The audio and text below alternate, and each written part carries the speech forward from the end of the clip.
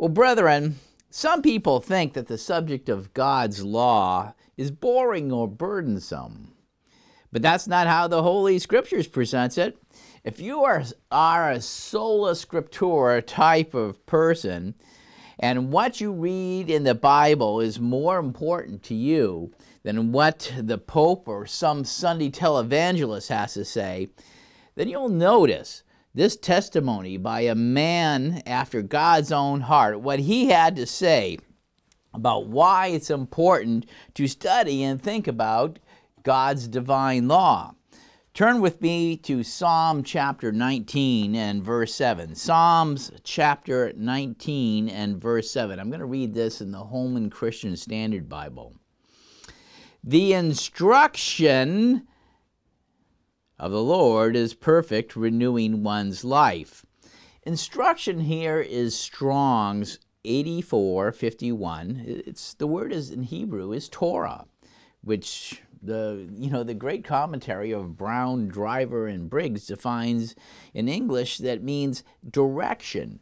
The direction of the Lord, the instruction of the law, the law of the Lord is perfect is renewing one's life.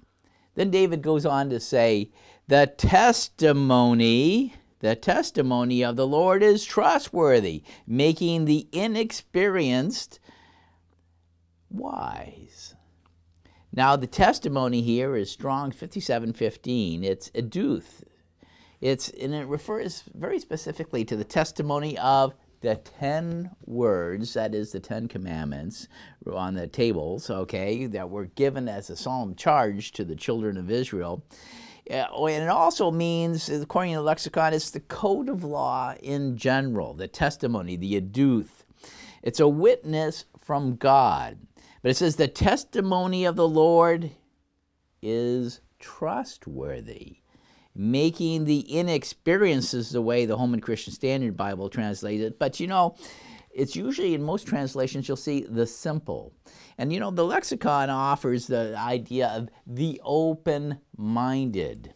And you know, really, from that standpoint, that is the best selection because it, when you say the, the testimony of the Lord, okay, is trustworthy, making the open minded wise, well, that's more of getting what is point because the scriptures are only going to benefit you if you're open minded if you're closed minded, if you've all, I don't want to hear what the Bible has to say. I already know, I've already made up my mind.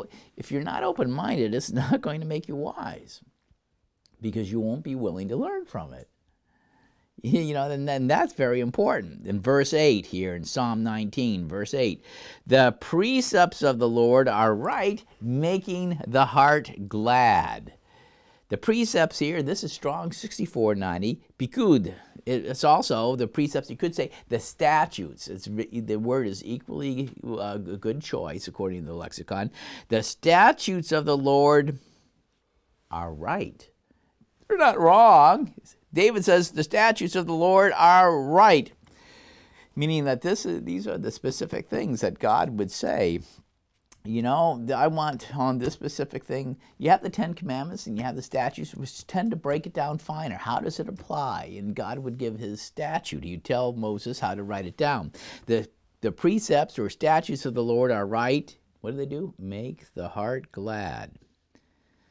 Then he goes on, the command of the Lord is radiant, making the lie, eyes light up. The command here, this is Strong's 4687. It's mitzvah. You've probably heard of mitzvah. If you've, if you've, ever talked to a Jew, they might talk about a mitzvah. But it's the command or mitzvah, which is God's commandments, his duties, okay, his duties that he gives a man, a person. The command of the Lord is radiant. It's not burdensome it's not, oh, it's terrible. The command of the Lord is radiant, making the eyes light up. Verse 9 The fear of the Lord is pure, enduring forever. Here, this word is the fear is strong 3374. It's not normally what the way we think of fear. It's an old fat, old English concept. The fear of the Lord means the reverence or piety of, you know, for the the piety of the Lord. The reverence. In other words, we with the word of God, we you know we hear the testimony, what God has to say, and we respect it.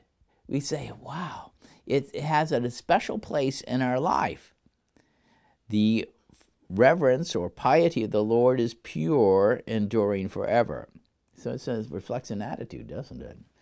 Then go, David goes on, the ordinances, okay, and here's the Strong's word 49 and 41. It's mishpat, which means judgment or justice. It would be our equivalent, if I was a lawyer in the society, I would say it's our case law.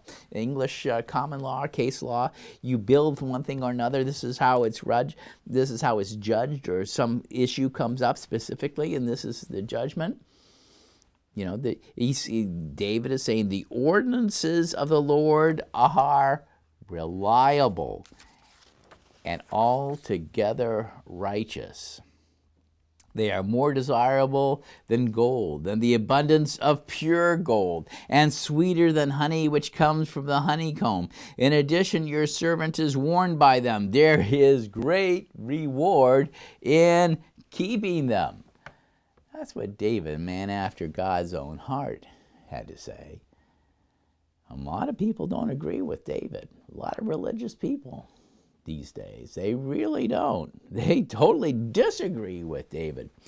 But the people of God who have reverence, who fear the Lord, who have piety uh, for their Creator and His witness, His Torah, His instructions, His testimony, His statutes, His commandments, His judgments, well, those who have reverence for them, they're going to listen to Him. They're going to be open minded and they're going to become wise by listening to these things. And to do them, the scriptures make a very strong point. To do them means to choose a good life, a good life rather than an eventual meaningless death, the sensation of any sort of conscious existence. God holds out these things. You know, you do these things there's life. You, you go, there's, it's going to mean everything to your life. You don't do them, there's bad things that's going to happen to you. God asks us, you know, he, he, he, it, I want to make this point that's very clear because a lot of people get confused on the law of God. God saves his people by grace. Go to Ephesians 2 4. Ephesians chapter 2 and verse 4, the Holman Christian Standard Bible saying with it, But God, who is rich in mercy, because of his great love that he had for us, made us alive with the Messiah, even though we were dead in trespasses. we were dead because, as the Apostle John said, what is sin? Sin is a transgression, it's the trespass of the law, it's a trespass of the Torah. We were dead in those things. Even though that you were dead in trespasses, trespassing the law, you are saved by grace. But when God saves us by grace, He then asks us to walk with Him in newness of life. Let's go to Ephesians, Ephesians chapter 4 and verse 17. He's staying with Apostle Paul here. Follow what he has to say. Ephesians 4 17. And of course, Ephesians were not Jews. No, they grew up in a pagan society, much like our society today, which turned its back on the truth revealed by the God of the Bible. Ephesians 4 17. Therefore I say this, and testify in the Lord that you should no longer walk as Gentiles walk. Don't walk as people, as the you know people who were not of the children of Israel, who didn't have the Torah, who didn't have the statutes, who didn't have the judgments. Don't walk like these people. Don't live like them the morality of the Greco-Roman Empire can be read, you know, in many historical sources. And they were, you know, that's how the Gentiles walked. You shouldn't walk that way if you're a Christian. Paul is saying that to these people. You should no longer walk as all these other Gentiles who don't know God, who don't know God's laws, who don't know what the Bible has to say. Don't walk with them in futility. That's Strong's 3153. It's metaiotis. It's aimlessness due to lack of purpose or any meaningful end. Don't walk because, you know, in a way that there's no meaningful end. Don't walk in a way that's nonsense because it's all just transitory. That's futility. See, that's what our world is embracing right now. The values of this world are futility. The metaotes, they're aimless, they're lacking purpose, they don't have a meaningful end. They're nonsense because it just fades away. Therefore, I say this and testify in the Lord, you should no longer walk as Gentiles walk in futility. Futility of their. Okay, turn the page. Uh, stick page. Futility of their thoughts. Verse 18 they are darkened in their understanding because they're walking in the futility of their thoughts, their understanding is darkened. They're not getting it straight. They are excluded, that means they are or alienated or estranged from the life of God. Those who are living as the Gentiles, to those who don't know the testimony, who don't have the Torah, the teaching, the instruction of God, they're walking knowing the futility of their minds. They are darkened in their understanding. They're excluded from the life of God because of the ignorance. Now, this is a great word. Strong's 52, agnoia, from which we get the word agnostic. Because of the ignorance, the want of knowledge, ignorance, especially of divine things, the lexicon says. Sometimes it includes the idea of willful blindness, says the lexicon. Now, there are a lot of people who are willfully blind these days. There really are. In the mainstream media, they are willfully blind. And most of our leaders and politicians are willfully blind. Now, some aren't but they're almost all ignorant. They're eh, because of the agnoia, the ignorance that is in them, and because of the hardness of their hearts. Just like Pharaoh's heart was hard. He saw all these miracles. He saw the hand of God. He saw what was going to, and yet he couldn't care less. And that's the way much of our those who are leading us today are. They have such a hatred for Christianity, it's positively amazing. Yes, being a Christian these days and, and throughout much of this world is one of the most dangerous things you can do. They are, Christians are, you know, there was a great report I read this, not great, but a report this week talking about the level of persecution of Christians throughout this world. It's, it's astounding. And in the West, you know, it's, it's oftentimes you'll see people turn the cold shoulder. They try to exclude you. They don't want to promote you if you're in jobs and things like this. They're, you know, you're, you're given a hard time. This is, this is going on in the world. It's there. It's, it can be quantified. So Paul was saying, Therefore I say this and testify in the Lord you should no longer walk as Gentiles in their futility of their thoughts. They are darkened into their understanding and excluded from the life of God because of the ignorance that is in them and because of the hardness of their hearts. We can't be like those people. We shouldn't be. We shouldn't be like the world around us because the world around us is, you know, they are walking in the darkness and ignorance of their thoughts and the hardness of their hearts.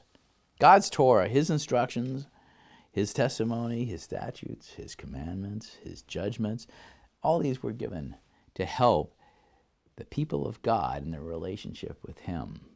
And with each other and with people in general. They are essentially God's Torah, His statutes, His judgments. They are God's essential principles for living. They are His essential principles of living. They're part of what I call moral logic of the universe. They've been around from the very beginning. Moses just got around to putting them down at the time he did. But they've, they've been around for a long time, ever since the creators started making this world. Now, when we talk about the law of Moses, people tend to have a very strict, limited view of the subject. They want to define, oh, this is part of the law of Moses, this is not, this is this. But that's not really what the scriptures say. That's not what the Bible is saying when it talks about the Torah. The Torah is the first five books of the Bible, and that means everything in them. That's the teaching, that's the testimony, that's the witness. Now, almost all Bibles that you pick up and will read will have a title on that first book in the Bible, in the first book in this book of books, and it's going to say the first book of Moses called Genesis okay? Because it's part of the Torah, it's part of the law, it's part of the witness, it's part of the testimony. Now, the point I'm making is that God gives His testimony, His witness through actual, the actual personal experiences of the lives of His people that are recorded in the pages of your Bible. He also has given specific, inspired commands, judgments, statutes in various places in the law of Moses and the books of such as in Exodus, Leviticus, and Deuteronomy. But in Genesis, you find a lot more personal stories. You find lots of personal stories too in the other books there of, of, Moses, but particularly in Genesis. And they're meant to help guide our lives. Now, Noah is one of these. Now, Jesus talked about the weightier matters of the law being justice, mercy, uh, and faith. Uh, let's take a look at the example of, of, of, Noah and see how some of the weightier matters of the law, of the teaching of God's witnesses, testimony, how this is brought out. Let's go, and we'll, we'll, we'll, we'll just go through here real quickly if we can. Let's go through the book of Genesis and take a look a little bit and see, you know, perhaps you had, perhaps you one of the people who've had a very narrow and limited view of what you think the law of Moses is about and maybe we can open your minds. If you're open-minded see the scriptures they, they they're they're there to help those but you have to be open-minded about it. See what it has to say. Let's go to genesis chapter 5 genesis chapter 5 and let's go to verse oh verse 28 and lamech lived a 182 years and begat a son well, I'd like to be 182 years old and begat a son. That would be great. I'd really, you know, go for it. There's, that's a long story, anyways. And he called his name Noah, saying, This one shall comfort us in our work and toil of our hands because of the ground which the Lord has cursed. Of course, that is a story that goes back even further because of Adam and Eve's transgression, they disobeyed God's direct command. They had seen the God of the, their creator, the God of the Bible, the pre incarnate Christ. If you believe what Jesus says about himself and about what the Gospels say about Jesus. And the ground had, he had got, you know, God had pronounced a curse on it because of their transgression. He was going to make man work hard. keep he's going to keep him busy. But he called his name Noah, you know, which is pleasant, is peaceful, it's, it's comfort. See, this is, this is oftentimes they do name, they have this. And after he begot Noah, Lamech lived 595 years, you know, and he had lots more children. There were a lot more children than just Noah. And then he died, and Noah was, verse 32, verse 32, and Noah was 500 years old, and Noah begat Shem, Ham, and Japheth. Japheth. He was 500 years old. That wouldn't be, wouldn't that be great? Essentially, you know, when we when we look at this, the 500, that's almost inconceivable to us right now because this is not our experience in this world. We think, wow, how could somebody live to be 500 years old? But the thing is, things have changed, and God shortened man's lifespan, and we'll see a part of the reason why here very shortly. But when He originally made man, there weren't those sorts of limits. The world wasn't polluted and corrupted like it is now. Perhaps the radiation even levels and the, or the what used to filter out the harmful radiation from the sun that breaks down our cells. Maybe that was filtered out more in the previous. But anyways, let's go. Let's just Noah was 500 years old, and Noah begot Shem, Ham, and Japheth. Let's go to bound here Genesis 6, Genesis 6 and verse 5 going to see something here. There was a problem. And the Lord saw that the wickedness of man was great on the earth, and every imagination of the thoughts of his heart were only evil continually. And the Lord repented that he had made man on the earth, and he was grieved in his heart. Like any father, he sees his children and they disobey him in everything and do everything he doesn't want them to do and won't do what he does want them to do. It's very clear, very, very simple. Their imagination of their hearts were only evil continually.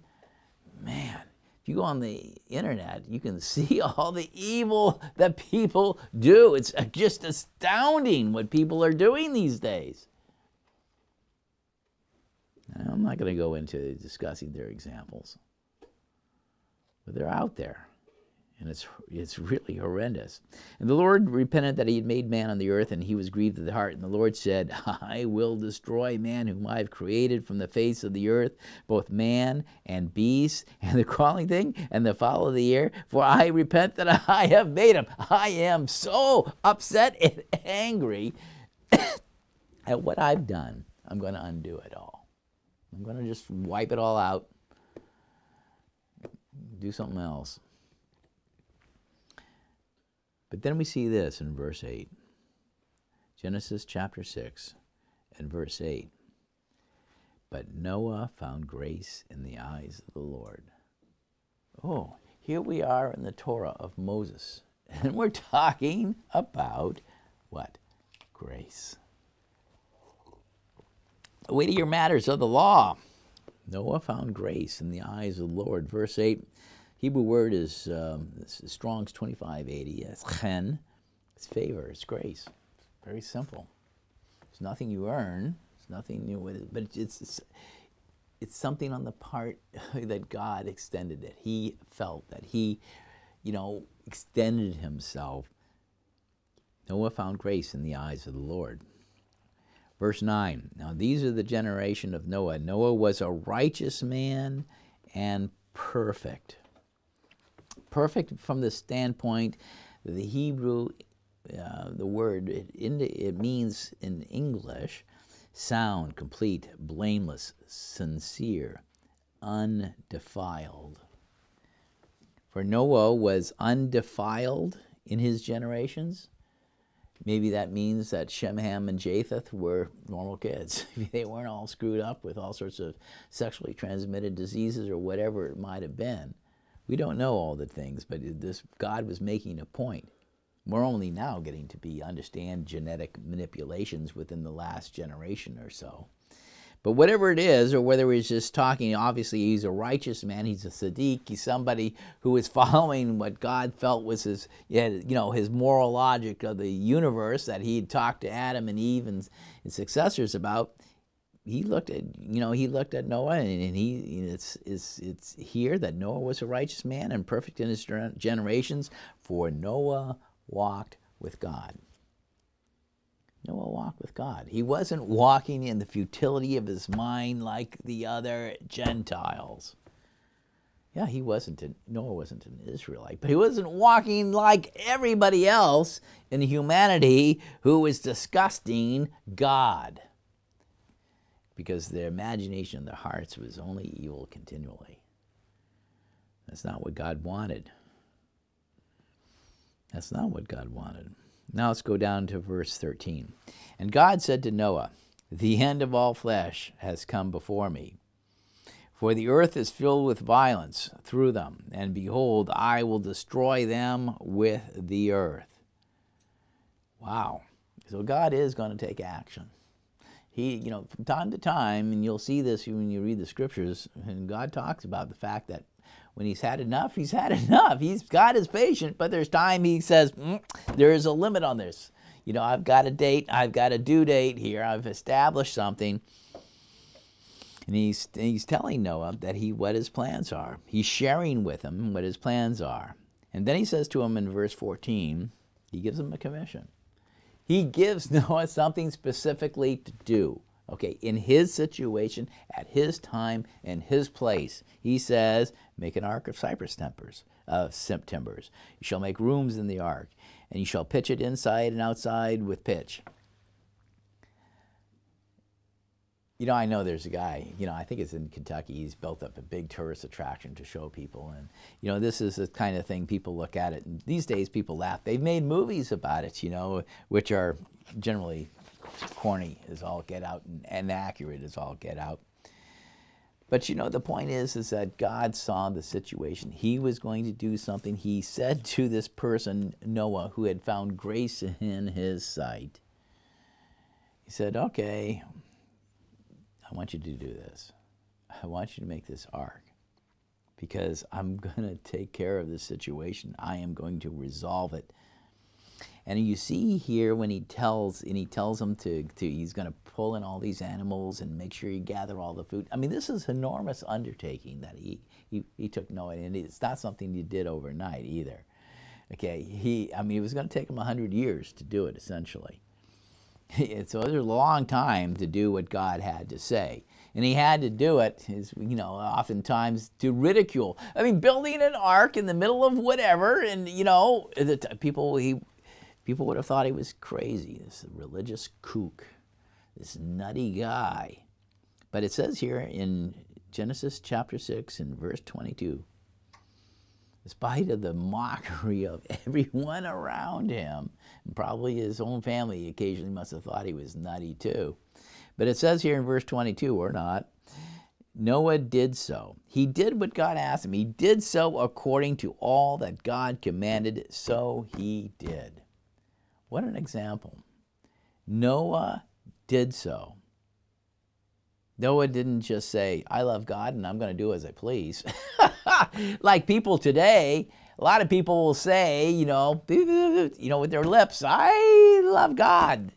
Oh, hallelujah, I love God. And then they go out and do what they please and they ignore what God says. Not good. Not good. Noah's example and what the Torah is teaching you, what the law of Moses is teaching, that when God says you, you know, gives you says some duties to do, Noah did so according to all that God commanded him, so he did. That's the example. If you're open-minded, you'll hear it. Genesis 7 and verse 1. Genesis 7 verse 1, and the Lord said to Noah, You and all your house shall come in unto the ark, for you I have seen righteous before me in this generation. So he's looking at all the people who arrived in this generation of these people that I created and made. Okay, now i am going to spare you. You found grace in my sight. Let's go down here to verse 5. And Noah did according to all that the Lord commanded him. It repeats it one more time. you know, it's practically, you know, Moses, when he was writing this down, I guess God was dictating it. And God was making a point. See, it was God making a point for those who are open minded, who do have reverence for his word. God did, Noah did, according to all that the Lord commanded him. And it says here, and Noah was 600 years old when the flood of waters began upon the earth. So, you know, he started when he was 500. Now he's 600 and he's got sons and to help him do all this. But he's having to do this a long time. He was 600 years old when the flood of waters began upon the earth. He had to put up with people's mocking for over a hundred years, saying, You're crazy. What a crazy kook this guy is. And Noah went in, and his sons and his wife and his sons' wives went with him into the ark because of the waters of the flood. Then it says this notice this of the clean animals and the animals that were not clean. Oh, we're talking about clean and unclean food of what's proper for human beings to eat, and it's always clean animals and unclean animals where we see there is a moral logic. God created them for beginning, obviously, for a purpose. They were created for man's use appropriately. And you know, God isn't going to tell us, and He doesn't tell us right here. He doesn't define everything. He doesn't give us all the details. That's later in the Torah. Someplace else. You go to Leviticus 11. He's going to define it very clearly. But for, for Noah's purposes, it was oral and he just said.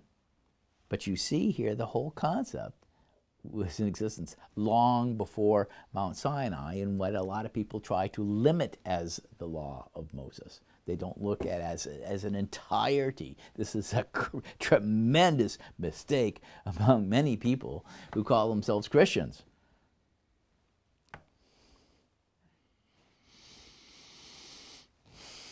So let's go to Leviticus and, uh, I mean, excuse me, Genesis chapter 7, and let's go to verse 11.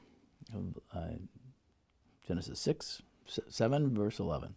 In the 600th year of Noah's life, in the second month, on the 17th day of the month, on this day, which is amazing, Noah obviously had a calendar too. Noah had a calendar. That's what it says. On this day, all the fountains of the great deep were broken open, and the windows of the heaven were, were opened and the rain fell upon the earth 40 days and 40 nights. We think we have flood problems this year. I mean, we the, the, snow has melted very fast, and places like in Montreal and other places have had a lot of flooding. Even where my oldest son lives in the Okanagan, they've had a certain amount of flooding. But it's nothing like compared to what these people were going to face.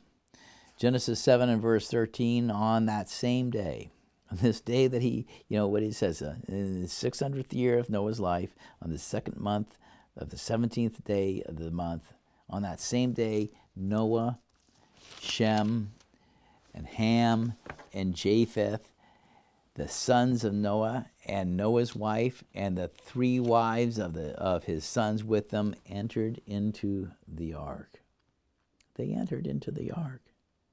And they went in, and every animal after its kind, and all the livestock after their kind, and every creeping thing that crawls upon the earth after its kind, and every fowl after its kind, every bird of every sort. They went to Noah into the ark, two by two, of all flesh, in which is the breath of life. And they entered, and they went in, male and female of all flesh as the Lord had commanded him, and the Lord shut him in. The Lord shut him in. And then we see here, we drop down, let's go to verse 23, verse 23.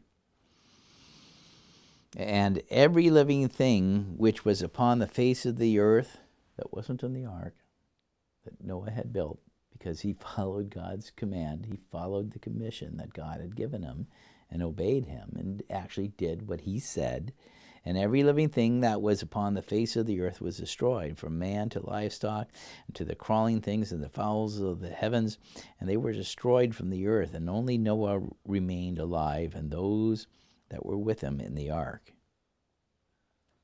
And the waters prevailed upon the earth a hundred and fifty days. Let me see here this in verse 8, in chapter 8, verse 1. And God remembered Noah and every living thing and all the animals that were with him in the ark. And God made a wind pass over the earth, and the waters subsided. Verse 6. Verse 6. And it came to pass at the end of forty days that Noah opened the window of the ark which he had made, and he sent forth a raven. And it kept going out and returning until the waters were dried up from off the face of the earth. See, Noah was smart he, he was letting somebody do the legwork for him. You know, he was, he was waiting to see, you know, what, was it really safe? Was it really time to leave? Verse 11. And so, and finally he sent out a dove, and the dove came to him in the evening, and lo, in her mouth was an olive leaf plucked off. So Noah knew the waters had gone down from off the face of the earth. But he waited yet another seven days. Even then, the experience had been, to say the least, traumatic. He was being careful. God didn't find fault with the fact that he was careful. In verse 18, and Noah went out, and his sons, and his wife, and his sons' wives with him, and every animal, every fowl, and every crawling thing, all that crawls upon the earth after their families went forth out of the ark. And it says here in verse 20, and Noah built an altar to the Lord, and he took every clean of every clean animal and every clean bird and offered a burnt offerings upon the altar. He took into the ark more than one pair of clean animals, by the way. You find how this makes a point.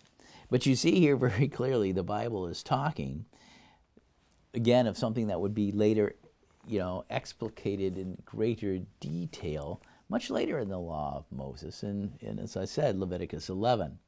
So let's drop down to chapter 9 here in verse 1, pick up the story. And God blessed Noah and his sons and said to them, Be fruitful and multiply and replenish the earth. And the fear of you and the dread of you shall be upon every beast of the earth, and upon every bird of the air, and upon all that moves on the earth, and upon all the fish of the sea. Into your hand they are delivered. We have stewardship over the living things of the earth.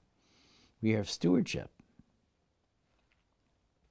and everything that lives shall be food for you, even as the green herb that I have given you in all things. God would define that. He did define that.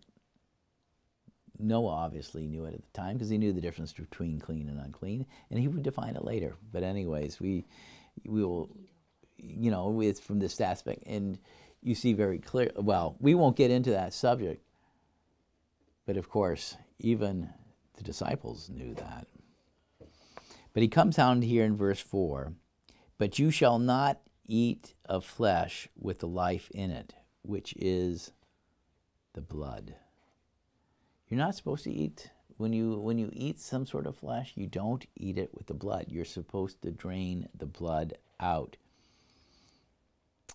And that's defined again in greater detail in Leviticus chapter 17, verses 10 to 11. But the curious thing is, is that later on, the church, you see in Acts 15, one of the things that they wrote to the Gentile converts, he, they wanted to make sure they knew that they were not to eat the blood. And they mentioned this Acts 15 20 and Acts 15 29. They repeated as part of the law of Moses because they wanted them very specifically because Gentile society, they eat blood all the time. It's part of, you know, it's part of what they did. Just like people eat blood sausages today, mostly in Europe. God said not to do it, and the church repeated it, not to do it. And you know, most people don't even bother. Most people, from this standpoint, they don't think about it. But in verse 5, or we'll pick this, continue on Genesis chapter 9, verse 5 Surely for your lifeblood I will demand a reckoning. From the hand of every beast I will require it. He's telling this to Noah, but he's going to explain it and repeat it to the, you know, to the children of Israel after is giving the Ten Commandments of Mount Sinai. He talks about in Exodus 21, 28 about various, he gave specified for a nation, because that's what was delivered there after Genesis, after Exodus 20, was the laws and statutes for a nation. He was what to do about if you had problems, animal control with, with animals killing people, and in this case, an ox with horns. And he he's also, he goes on, and he's going to demand a reckoning and from the hand of man. Oh, he didn't want murderers just around, running around either. He was, and you can see in the law of Moses defined between who is a murderer, who would be uh, considered a manslaughterer, somebody who would kill somebody and would not be immediately killed. And he, he, he went through all the rules of how the nation was to deal this, deal with it. And then he says, he's, you know, demand a reckoning from the hand of every man's brother I will require the life of man. This statement here in Genesis chapter 9 in verse 5 is one of the reasons, and I've, I've always taught this, of why we who are Christians in the Church of God, we don't believe in euthanasia. We don't believe in mercy killing. You have also the whole example of, of uh, an Amalekite who performed a mercy killing on Saul on the field of battle when, it, when he thought he was uh, going to die, and probably was, and wanted to get his life over with quickly. You see in 2 Samuel verse 1, verses 1 to 14, this whole incident that would later be repeated in the scriptures showing this sort of mercy killing was not tolerated. David, a man after God's own heart, wouldn't tolerate it. Because it says here in Genesis 9 and verse 6 Whoever sheds man's blood, by man his blood shall be shed. For in the image of God he made man, hearkening back right to the creation the whole purpose of why he did this. There is a moral logic that has gone on from the very beginning. And as for you, be fruitful and multiply, bring forth abundantly in the earth and multiply in it. In verse 8, then God spoke to Noah and his sons with him, saying, As for me, behold, I establish my covenant with you and with your descendants after you. See, God gave the covenant by grace. They didn't buy it. There's nothing they could give God to bargain for it. God established a covenant is, a relationship, just like you have a marriage covenant between a man and a wife. It's a relationship that's going to develop and continue on. And he's saying to, to Noah and his sons, I'm going to establish and my covenant with you and with your descendants after you because this is God's long term plan. And you notice this is curious. And with every living creature that is with you, the birds, the cattle, and every beast of the earth with you, of all that go out of the ark, every beast of the earth. I think this is interesting. We oftentimes overlook at it because, uh, you know, we, sh- we shouldn't put down the whole idea of being the fact that we are stewards. We should have a good environmental stewardship of how we take care of this creation. And God's concerned about the animals. You notice later on in the prophets, he's going to talk about it in Jonah 4:11 when, you know, Jonas would, would have just have preferred that Nineveh, which is the capital of the, of the Assyrian Empire, who were enemies of the Israelites, he would have preferred that they get wiped out that they would be, you know, that God would drop fire and brimstone on them. But he says, you know, God, seeing the hardness in Jonah's heart, said to him in Jonah 4:11, "And should I not spare Nineveh, that great city that I sent you to to preach the repent?" And they actually did. they actually heard you. Surprise! In which there are more than 120,000 men who do not know between the right and left hand See, they were ignorant. They were ignorant. They didn't know. And God was having mercy on them. And then he adds, besides much livestock. See, he, I'll establish my covenant with you and your descendants, as well as every living creature that is with you. God keeps his word. Verse 11 here in Genesis Thus I establish my covenant with you. Never again shall all flesh be cut off by the waters of a flood. Never again shall there be a flood to destroy the earth. And God said, This is a sign of the covenant which I make between me and you, and every living creature that is with you for perpetual generations. I set my rainbow in the cloud, and it shall be a sign for the covenant between me and the earth. It shall be when I bring a cloud over the earth that the rainbow shall be seen in the cloud. And I will remember my covenant, which is between me and you and every living creature of all flesh. And the water shall never again become a flood to destroy all flesh. And the rainbow shall be in the cloud, and I will look on it to remember the everlasting covenant between God and every living creature of all flesh that is on the earth. And God said to Noah, This is a sign of the covenant that I have established between me and the flesh of all flesh that is on the earth. You know, I think it's a curious irony here we are in the 21st century that the gay rights community has adopted the rainbow as one of their main symbols. Are they using it as an unconscious, perhaps, talisman against divine judgment? I won't answer that. Let's go to Ezekiel chapter 14 and verse 13. Now, what is the teaching? What does this whole example of Noah tell us that's in the law of Moses? What is, what is, it, what is it warning us of?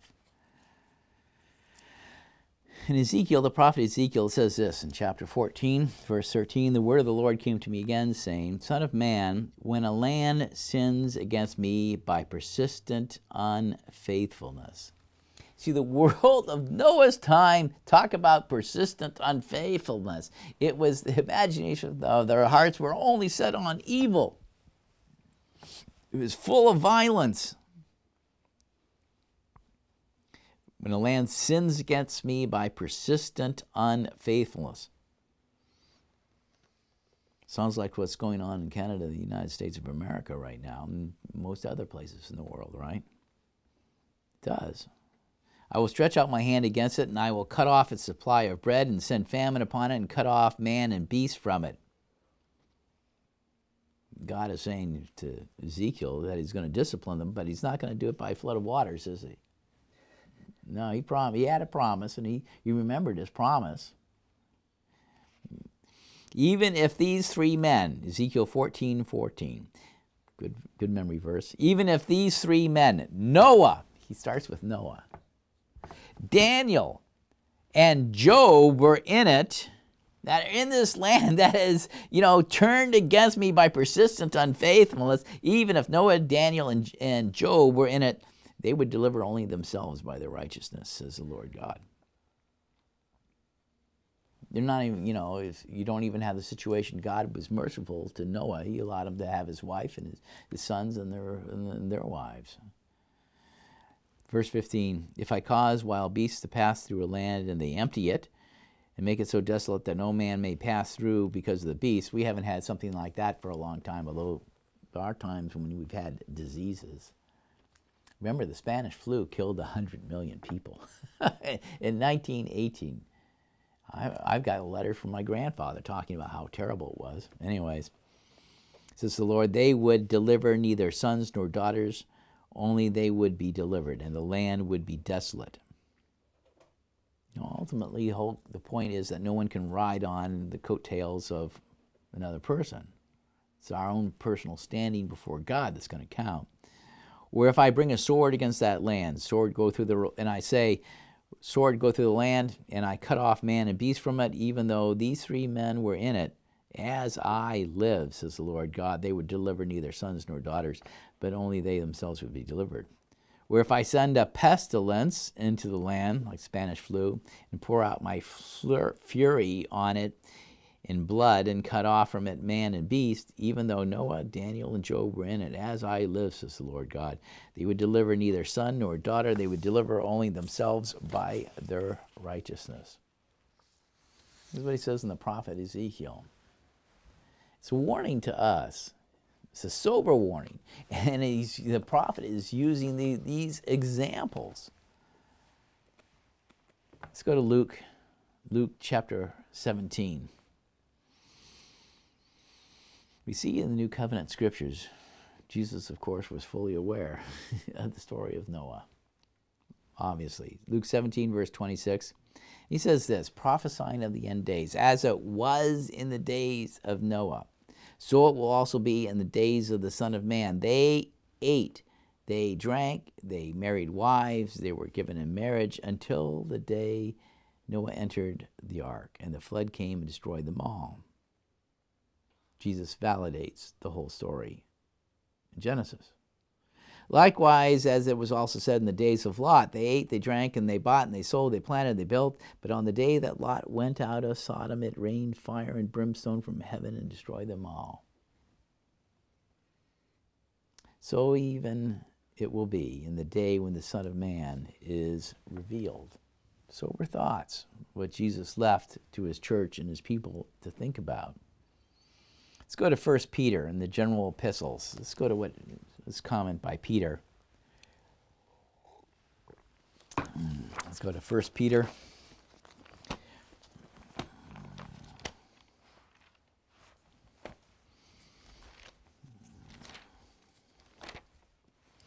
First Peter chapter 3 and verse 20. First Peter chapter 3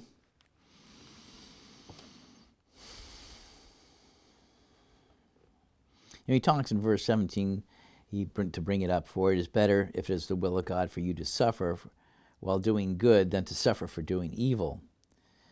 Because Christ indeed once suffered for sins, the just for the unjust, so that he might bring us to God. On the one hand, he was put to death in the flesh, but on the other hand, he was made alive by the Spirit. Then we have verse 20. He talks about, well, verse 19, he talks about by which he went and preached to the spirits in prison. He's preached to the spirits in prison. We're going to hear about that in a second. Which disobeyed in time past when once the long suffering of God was waiting in the days of Noah while the ark was being prepared, in which a few, that is, eight souls, were saved through water. See, there was once a world in which people were disobedient. Their, their minds were darkened by their ignorance. They were darkened by their ignorance to the moral logic of the universe, of what they should have known, what somebody like Noah did remember and did bother to pay attention to. And God, he said, the divine long suffering waited in these days while the ark was being prepared. Is God having long suffering waiting in our times for this? Let's go to the next epistle of Peter. Let's go to 2 Peter chapter 2 and verse 4. Peter says this For if God did not spare the angels who sinned, and so there's a long backstory to the history of this creation and man's appearing on this earth. For if God did not spare the angels who sin, but having cast them into Tartarus, is what it actually says in the scripture. Many versions will say hell, but you know, Tartarus in the Greek is a place of restraint or imprisonment. So if you're having angels, it's obviously not your physical prison, it's something different. But that's how it puts it. You cast them into Tartarus and deliver them in the chains of darkness to be kept for judgment, reserved for judgment, and did not spare the ancient world. See, Peter is making this warning and advising the brethren to pay attention to this but saved Noah, one of eight people, a preacher of righteousness, bringing in the flood upon the world of ungodly, and turning the cities of Sodom and Gomorrah into ashes, condemned them to destruction, making them example of those who afterward would live ungodly, and delivered righteous Lot, who was oppressed by their filthy conduct of the wicked. For that righteous man dwelling among them tormented his righteous soul from day to day by seeing and hearing their lawless deeds. And what they were doing, their lawless deeds, were contrary to the law of Moses. God talks about all sorts of things in the law of Moses about sexual immorality. He defines it pretty, you know, breaks it down into fine points. All the different ways one can sin that God found was defiling. Verse 9, it says, then the Lord knows how to deliver the godly out of temptations and to reserve the unjust under punishment for the day of judgment. Verse 10 especially those who walk according to the flesh in corrupting lust. This is Strong's 3394, miasmos. This is a, of an act of defilement or pollution In the time of Noah, the world was defiled because these people were only thinking about what was wrong and evil, and it was full of violence. And especially those who walk according to the flesh in corrupting violence and hold in utter contempt the lordship of God. See, God the apostle peter was inspired to say that you know he's linking that those who walk there you have corrupting lust. And at the same point they hold in utter contempt the lordship of god. The lordship of god strong's word here is 2963 is kuriotes it's from kurios lord. And it's talking about the lord's a dominion, that his power that he has over in a particular jurisdiction, which in this case is the earth and humanity, his creation. But many people are walking according to the flesh and corrupting lusts and hold in utter contempt the lordship of God. That is the nature of our society. And God defines these things and shows us through the law of Moses the consequences of these things and what the errors were. Five books there. God repeats it time and again. Noah. Then you have the whole thing of Sodom and Gomorrah. You have the kicking out the Canaanites out of Canaan before the Israelites. You have all these things. Let's go to Matthew 23 23. For people who have a problem, and there are many who have a problem with the law of Moses these days, Jesus said this, however. He said, Woe to you! How terrible it would be for you, those who are teachers of the law, the scribes and the Pharisees of his, of his day. Why? You are hypocrites. That is, you say you represent yourself to be one thing, but you're just a play actor. You're not doing it. You talk the talk, but you don't walk the walk. And that's the problem right now. Most in the religious world, there are lots of people who talk the talk. I love God, but I want to do as I please. I don't want to listen to, I don't have any reverence for the Word of God. I don't have any reverence. I despise the Lordship of Jesus Christ to tell me what is right and wrong. I want to do my own thing. You hypocrites. You give to God one tenth, that is, you pay tithes on everything you have, even the mint, dill, and cumin, your garden herbs, but you don't obey or as the expanded Bible version says, you know, they obey, you, ignore, you neglect. Now, those have different, you know, you don't obey sounds active, but if you ignore, it sounds a little bit more passive aggressive. You neglect, well, you know, whatever it is, that won't cut it with God. You don't obey, you're ignoring or neglecting the really important teachings of the law, of the law of Moses, which include justice. God was going to bring justice upon the earth in Noah's day, mercy. Noah found grace in God's sight and being loyal. Yeah, he was he's faithful. Noah did what God asked him to do. These are the things you should do. Okay, all you know these these weightier matters of the law, justice, mercy, and faith, without neglecting even to tithe. Oh, and of course, tithing is defined and, and talked about significantly of tithing of year increase. He gives all sorts of different examples in the scriptures. Of course, I know all these people these days say, well, I only tithe on agricultural produce if I have land and these other things, and I, uh, the, the scriptures won't let you off so easily. Let's go to Hebrews 11. Hebrews 11. We'll conclude today's message. This, this New Covenant scripture. Hebrews chapter 11. Let's go verse 1. Now, faith is the substance of things hoped for, the conviction of things not seen. Right? If Hebrews is making a point. Our faith is a conviction, is a substance of what's being hoped for, of what the Bible promises, conviction of things not seen.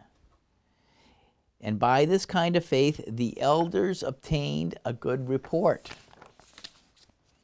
And then let's go down to verse 7. Hebrews 11 and, and verse 7. By faith, Noah, after being divinely instructed by God about things he could not yet see, was moved with fear and prepared an ark for the salvation of his house. and all the other living things, because it wasn't a small rowboat or a yacht. It was this enormous uh, ark in which he was carrying all these animals. He worked on it for a hundred years with seeing no evidence that anything was going to happen. And he was moved with fear and prepared an ark for the salvation of his house, through which he condemned the world and became heir of the righteousness which is by faith. What an example from the law of Moses.